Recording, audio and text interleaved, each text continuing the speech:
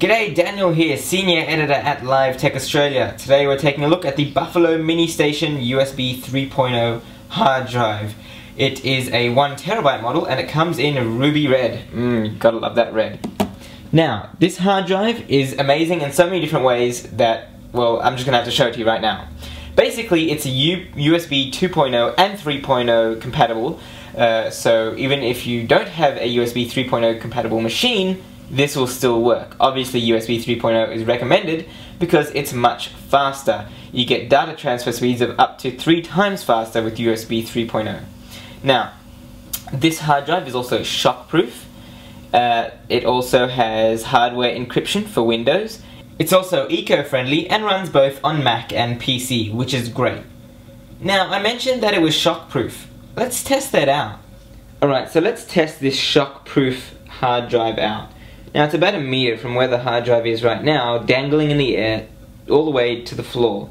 Let's drop it and see if it still works. One, two, three. Okay, now that actually fell and bounced off something else, so all the more damage to see if it works. Let's go and check it out. Okay, so this is the hard drive that we just threw on the ground, quite violently if I may add. Uh, let's just plug it in. See if it still comes up on the laptop. Alright, it's plugged in. Now it should pop up any minute. The light's flashing up on the hard drive, as you can see there. Now there we go, it's popped up right here, Buffalo. Files are still there, looks good to me. See, it works. Why would they lie to you guys? I can't believe you doubted them. Okay, so that was our shockproof test. But one of the reasons I got the Buffalo was because my old hard drive, well, it sucked. I'm not mentioning any names. Western Digital. Alright, so we've got my old hard drive right here, as you can see. I'm going to plug it straight in. Now this is a USB 2.0 hard drive. I'm going to show you what was wrong with it.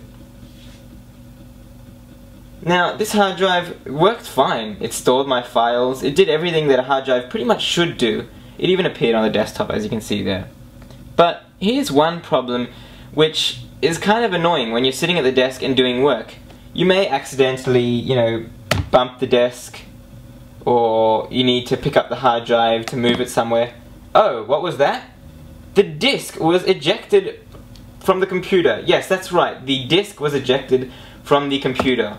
Now, I've had a problem with my old hard drive. As you can see, you can't even do anything. You can't even bang the table, move the table, pick up the hard drive without it automatically ejecting from the actual computer.